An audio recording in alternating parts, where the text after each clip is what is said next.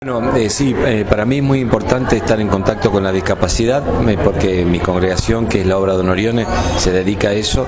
Y bueno, yo fui formado desde chico muy en relación con, los chicos y chicas con capacidades especiales. Bueno, hoy, ¿qué, ha visto con ellos? ¿Ha hablado? ¿Ha visitado en la institución?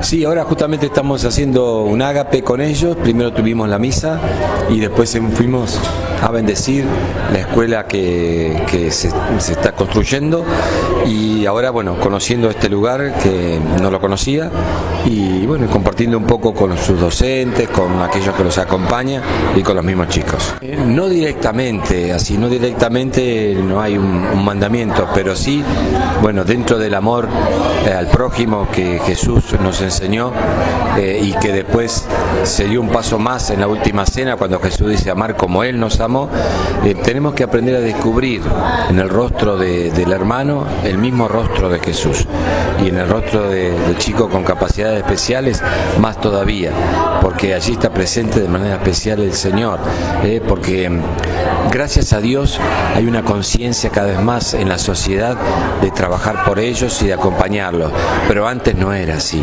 Entonces eh, creo que todos tenemos que seguir tomando conciencia de que ellos son seres muy especiales y que no los podemos marginar.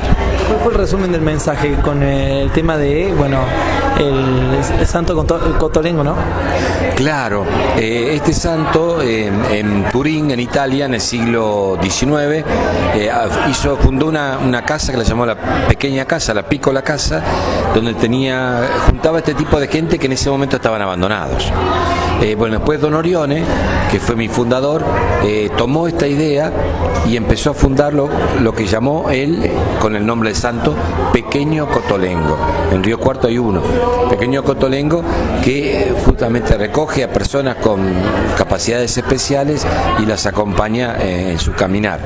Muchos de ellos no tienen familia o la familia no los puede tener y entonces ahí se los recoge y viven allí como una institución. ¿Usted bueno, estaba en la misa que los, los vimos ahí muy atentos ellos?